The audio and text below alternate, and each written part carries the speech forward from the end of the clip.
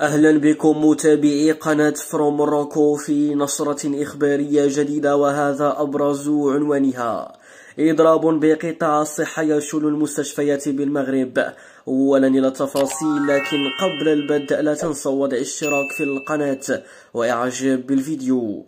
أعلنت النقابة الوطنية للصحة عن خوض إضراب وطني يومي الأربعاء 6 والخميس 7 مارس 2024 بكل المؤسسات الصحية الاستشفائية الوقائية والإدارية باستثناء المستعجلات والإنعاش مع وقفة احتجاجية إقليمية أو جهوية.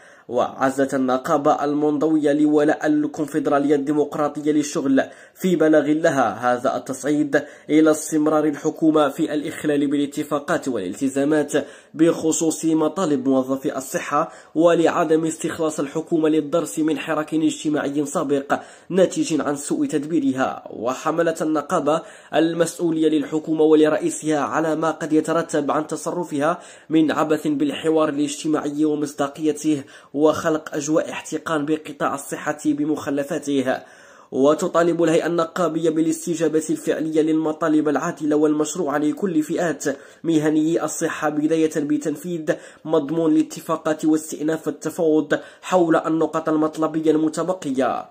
وأشارت إلى أن النجاح الكبير للإضراب الوطني ليوم الخميس 29 فبراير 2024 بقطاع الصحة ونجاح التنسيق النقابي النضالي الميداني في شل حركة المؤسسات الصحية.